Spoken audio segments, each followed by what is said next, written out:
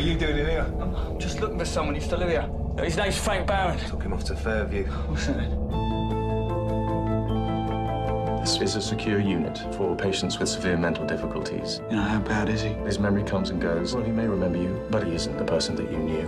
You'll find prone to hallucination. You want to take one of your pills? Stop you seeing things that aren't real. They're real. I found him. Yeah, well, we're on our way. Who are you talking to? That was Mum. You're telling me things. All right, I'm ready to talk.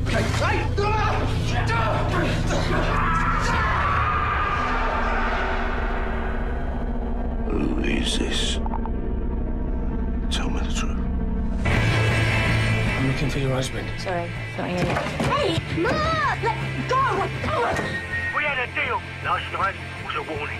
If you give me Frank or I'll come for your family, you understand? No more lying. What are you causing to? I had no choice, though, did I? You're gonna kill him. Need a good reason why I shouldn't just end you up. Frank, are you okay? Okay. Who are you, Frank? What have I done? You telling me he owes me? Punish him for something he don't remember. I'll make him remember. I just want to do the right thing, that's all.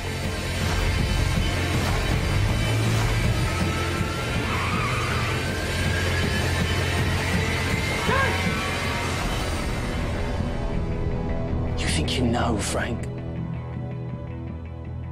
You've no idea.